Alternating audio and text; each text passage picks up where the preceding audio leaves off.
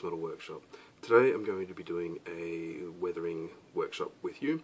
Uh, originally this video was going to be all about taking some tired old models that you were, yeah, perhaps weren't really happy with and trying to elevate them, but it developed into a lot more than that. So it's going to be a two-part series. Uh, the first part is going to be about colour modulation, uh, using washes and using the salt technique to get lots of colour modulation, um, also a little bit on chipping and rust. And the second part, which will be coming out soon, is all about using uh, applying mud and uh, a bit of overspray and pigments, which I love to use. So keep an eye out for part number two. If you have any questions or if you think there's anything I've missed, please chime in in the comments below. But otherwise, let's get stuck straight in part number one on how to weather scale models. Cheers. Hello and welcome to Dave's Model Workshop. Today I'm going to show you how you can take some tired old kits and um, elevate them to the next level. Um, I've got two kits here that I made about five years ago. They're both looking a bit the worse for wear. the actual build is fine on both of them. So we've got a white Scout car and an early Sherman.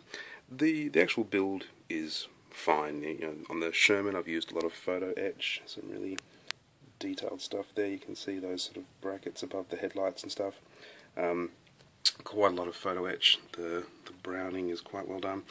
Um, so the build, you know, the bones are really good, but they just don't look very you know, sophisticated. They're not quite the level I'm appreciating these days. So my plan is to do some good weathering and some washes and some pin washes and really just you know bring them to a level that I'm happy with and maybe even incorporate them into a diorama. So let's see how we go. What's so you can see here in the sun that they're fairly monotone. I've tried in the past to you know get a bit of highlighting on the Sherman, but the Scout car it is one colour. It's not great. I've done a bit of dry brushing, but it's nothing. So the first thing I'm going to do is to get some JN green, some darkish green paint, and just paint around the door panels, try to get a bit of shadows here and there. So it's quite thin and low air pressure, really, you know, we want subtle washes. So I'll try this, hopefully you can hear me over the top of the airbrush and my neighbour dropping things.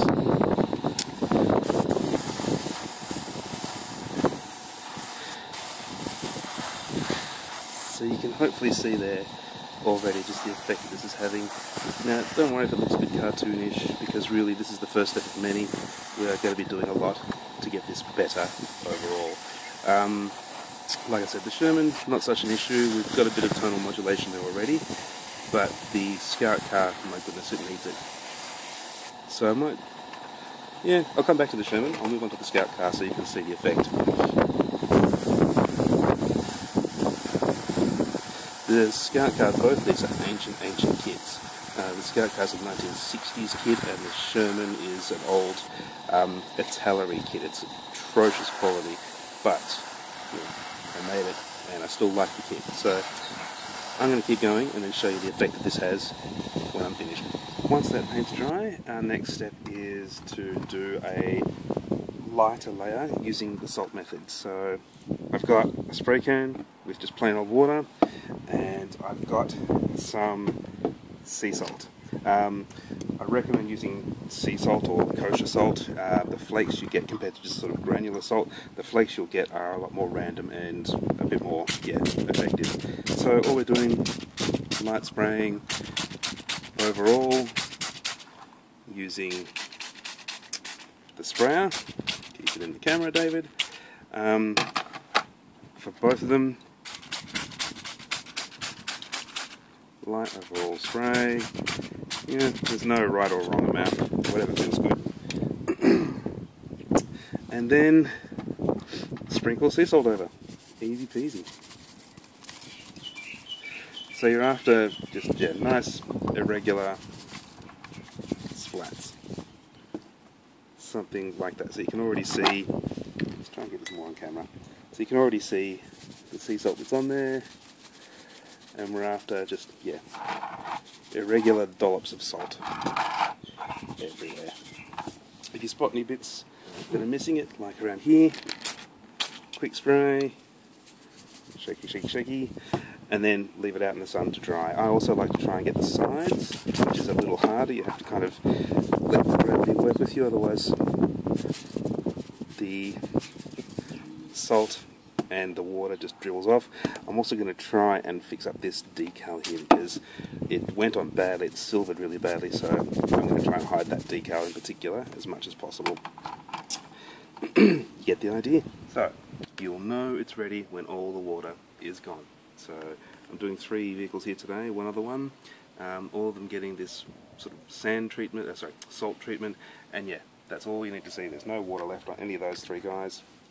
So, the next step is a very, very diluted and very low pressure covering of a light paint. I go with white. It's totally up to you what you want to use, but I go with white. But the trick here, very, very light. If you do it too thick, it's just going to look cartoonish. So you almost can't see it, and that's exactly what you want.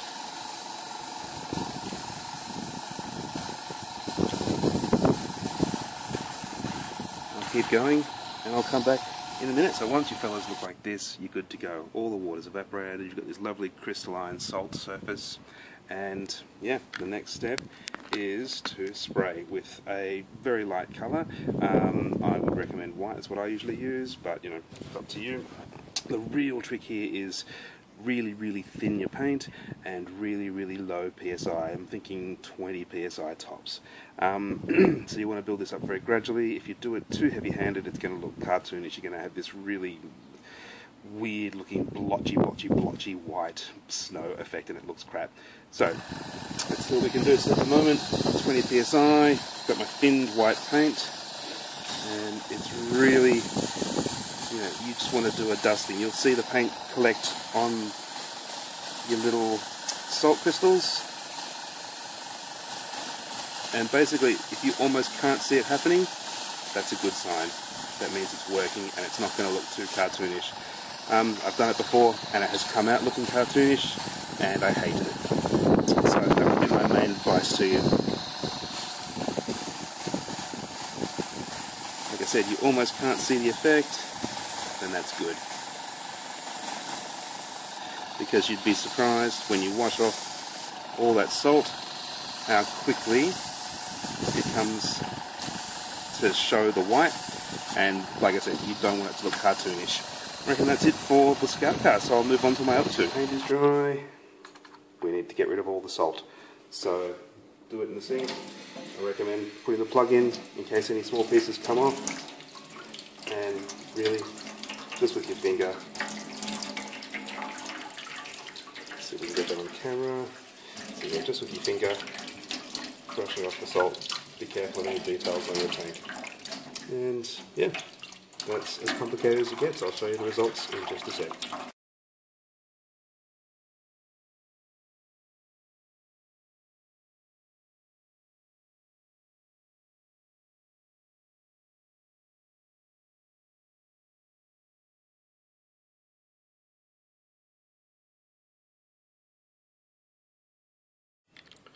So this is where we're at after the last video.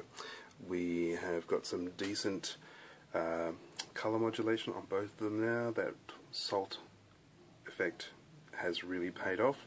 So we've got this lovely white, you know, faded paint look throughout.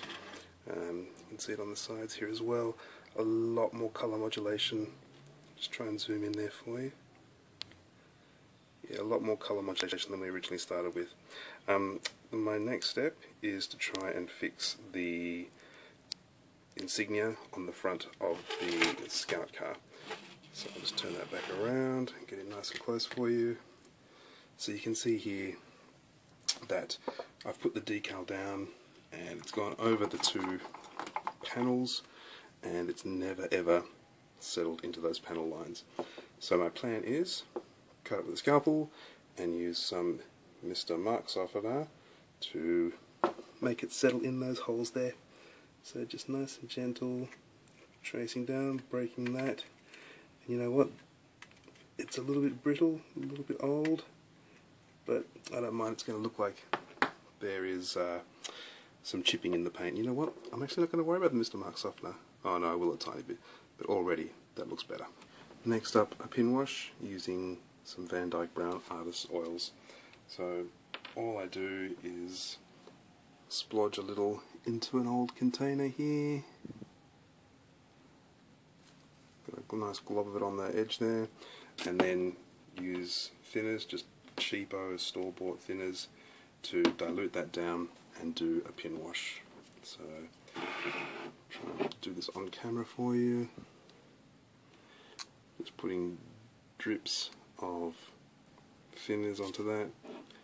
Um, I use this one jar all the time for this, so it's always the same colour, and you always get, you know, artist oils take such a long time to dry that you can always, you know, resurrect some down the bottom.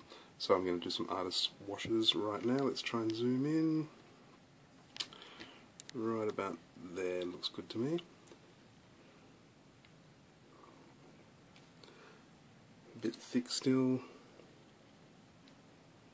But anyway, you get the idea. We'll come back to that. In so if you have a look here, you can see how the the wash is really bringing out the details of all these raised nuts and bolts. Once this dries off, perfect. It's just going to make it stand out even more. And you know what? If it leaves weird little um, evaporation marks, it's just extra wear and tear and grime. It's not a bad thing. A little bit here. You can see the sort of consistency. That first one was just way too thick. You really do want it to just soak into those lines there. Perfect. And here is the old girl after an oil pin wash. So, sadly, a lot of bits fell off. Uh, obviously I didn't put enough glue on five, six years ago when I was building this, so quite a few pieces came off with that thinner kicking in. Um, the Sherman, I didn't go quite so overboard just because I really, really like this light surface that it's got here. I really didn't want to ruin that by splodging on too much oil. So I've done a bit draping out of the uh, petrol tank there, a bit of a pin wash around that rear deck, a little bit just picking up details on the hull, on the turret. So things like the little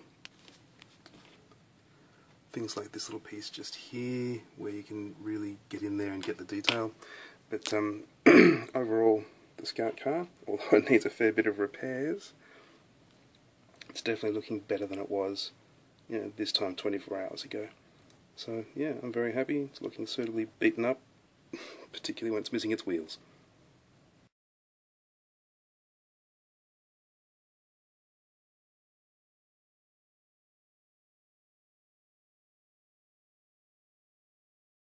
Our next step is chipping. So this will be done in a two-step process. First off, we're going to do a slightly lighter tone. So I've mixed up a lighter tone of the olive drab just in here. Uh, used a bit of yellow, a bit of white, a bit of original olive drab. So we're going to use this as the sort of chipped paint around the darker tone which we'll put on later on. So grab your handy dandy little bit of sponge and just chip where you think it would be chipping off from the paintwork. So obviously around doors, etc. Quite a lot of chipping there. And we're going to go over this later on with the darker chipping colour.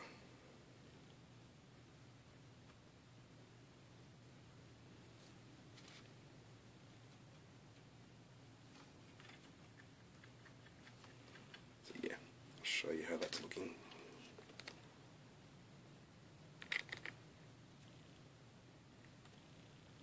You get the idea there. Once that's done, the second part, so you can see if I get in nice and close here, you can see where the chipping is, slightly yellower sections. And let's try and get this up nice and close.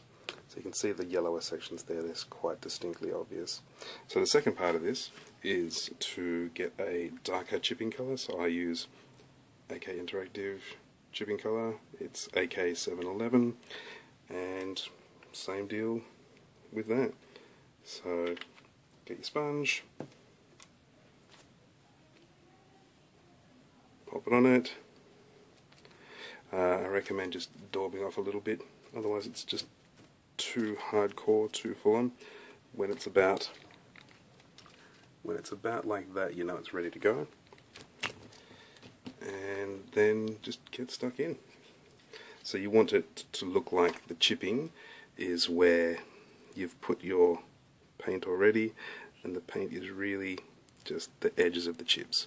So something like that. I'll do a little bit and zoom in close and you can see it in a second. And this gives you a bit of a sense of what we're after. So that door there has had quite a bit of chipping attached, and quite a bit of chipping painted on and yeah, I think we're looking pretty good.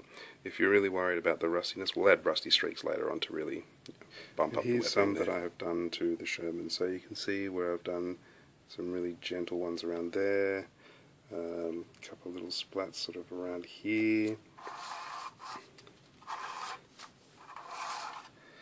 Uh, a few around there, a little tiny bit there, and some around the hatches at the front here. So yeah, sort of there and there, and a little bit just around here and here. So yeah, I think the Sherman is probably a slightly better version actually, uh, perhaps a tiny bit too heavy-handed on the Scout car, but you know what? The beauty of weathering, you can always cover it up with mud and dust. So yeah, happy with the Sherman, not so happy with this, but we'll keep on going. Keep an eye out for part two of this video, which is where we'll be going through applying mud, using pigments, I love that bit, um, tying it all together, spraying a little bit over it to you know, really just tone it all together, and um, finishing steps. Cheers guys, enjoy.